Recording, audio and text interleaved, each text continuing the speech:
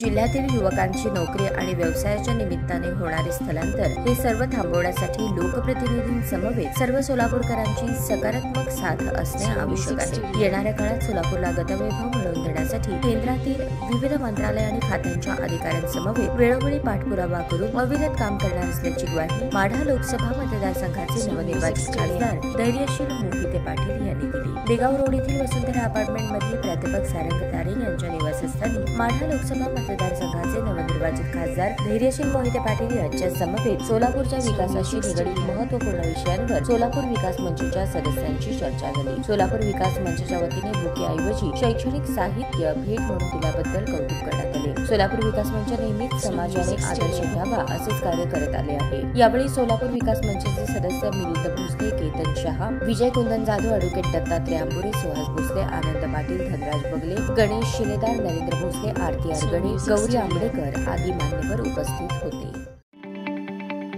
ताज्या बातम्या पाहण्यासाठी प्राईम महाराष्ट्र न्यूज चॅनलला सबस्क्राईब करा.